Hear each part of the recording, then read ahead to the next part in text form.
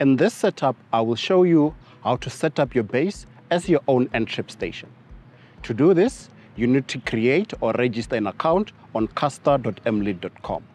We have a different video on how to do this. Once you have done this, you will use the details that you get from your account to configure your base and to also configure your rover.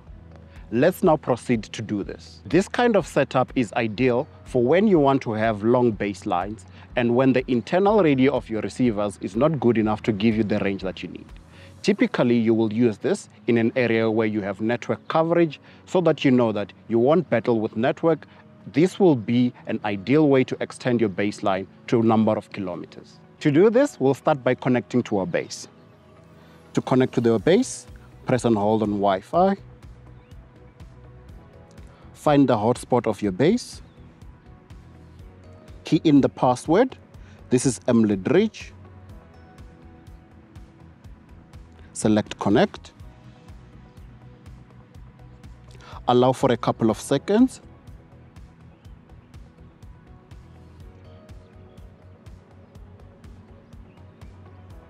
When the notification comes, select tab for options, select don't ask again, then select yes.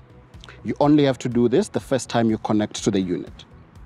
Once this is done, we can close the Wi-Fi settings, open Emlid Flow, We will now proceed to connect to the base. Now that we have connected to the base, let's go into settings. Then we'll go into mobile data. And then we'll put mobile data on. This is because we want to use Ntrip. And with Ntrip, we need to have network connection. Once mobile data is on, we will go back to base output. Then we'll select Ntrip. We now have to key in the address, the port, the password, and the mount point from the Emlid Caster account that we've created. Let's proceed to do this. From your Emlid Caster account, you will have a password and a mount point. This will be unique for your own account. For the address, this is caster.emlid.com. The port is 2101. the password. You will use your own password from your account. And then the mount point will also be unique to your account.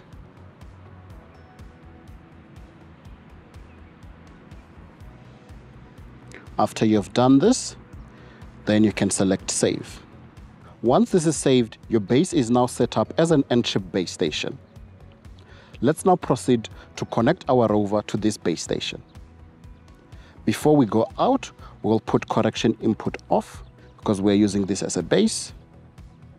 And then we'll proceed now to connect to the rover and configure it to connect to our base. We'll connect to the rover on Wi-Fi. Password is the same, Emlid Reach, all small letters. select connect.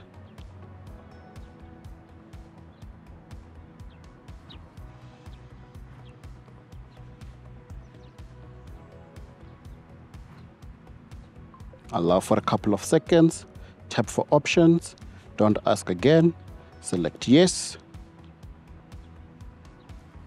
Open Emlid Flow.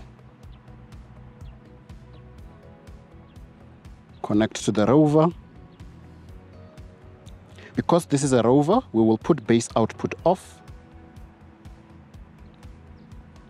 We will go into settings, go into mobile data,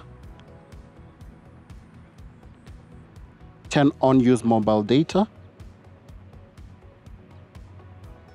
Once the mobile data is on, we'll go back to correction input. We'll select on Ntrip, and then we'll add another profile for our Emlid caster.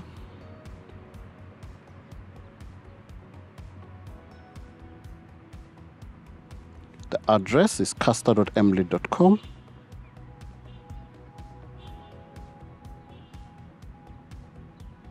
The port is 2101. The username, this is unique to your account. The password is also unique to your account. So just make sure you have logged into your account and you are able to see these details. You can select your mount point from the list that is available here. Just make sure that it's the same mount point that you used for your base. Then select save. You'll see now the rover is receiving corrections. We have a fixed solution. Now we just need to move our rover about.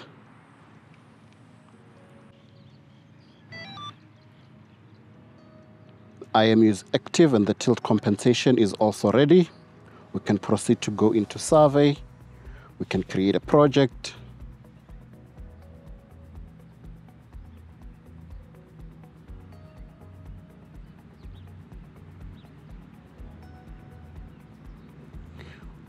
Coordinate system we're using is HART94 LO29. We are using the South African geoid as the vertical datum. We'll select save. We'll select plus to go into measurements. We'll key in the height of the rover pole.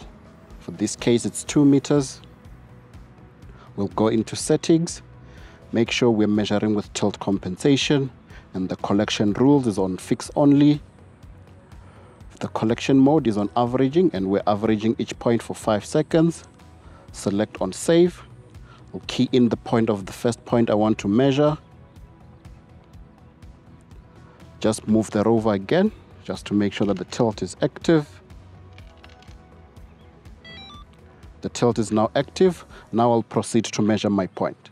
With this kind of setup, as your base setup as your own Ntrip station and your rover receiving corrections from your Ntrip base, you're able to do a baseline of 60 kilometers. This is what we'll recommend for surveys where you have to do very long baselines away from your base.